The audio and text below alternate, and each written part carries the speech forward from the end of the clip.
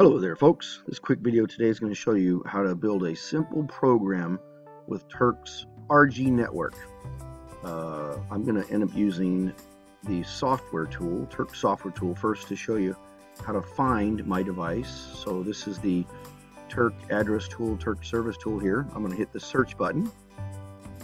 It's going to go out and it's going to find that I do have a Turck device at this IP address here.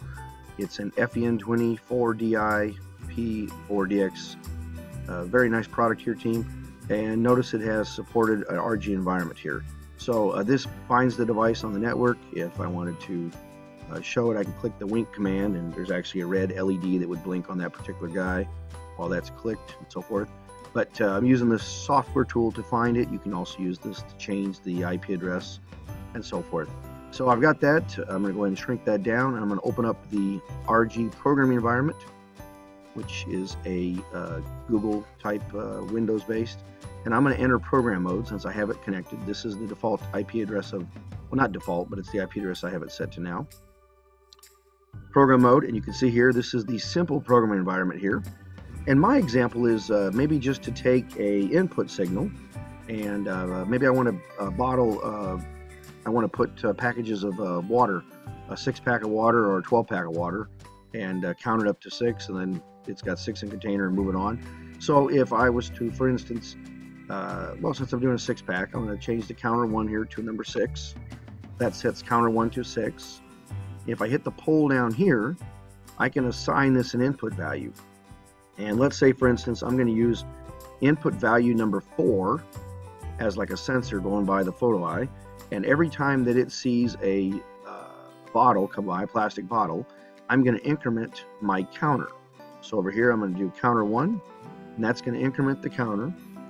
And then once counter one is met here, uh, you'll see that it uh, gets expired, if you will. Over here, then, what I'll do, maybe I'm going to have an output that turns on when counter one gets expired to maybe move the six pack or 12 pack of bottles out of the way. So if I hit the pull down here, I can go down below and I can choose counter one expired and then when I that it happens there, I'm going to go over here and maybe I'll turn on a different output. I'll turn on output one or output zero, for, for instance, on this particular guy here. So according to logic here, this is going to count up to six. When it hits six, it's going to turn on an output here in the network here and uh, would be uh, reset. Now I don't have a way here to reset the counter one. So I think what I'll do, uh, let's see here.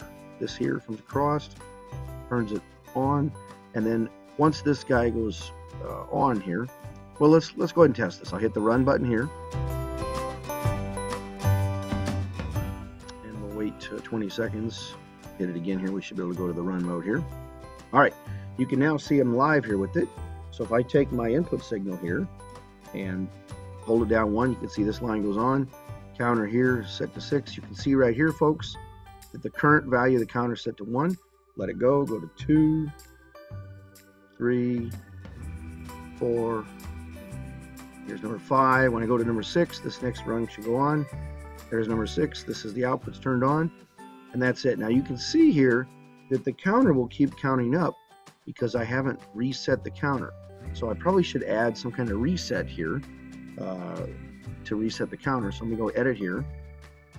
And let's pretend that uh, when this counter, this output goes on, uh, actually, I'll use another input signal. Let's go down here. Let's choose input number five. We'll reset our counter and start our logic back over again. So if we go over here to this guy, we can reset counter one.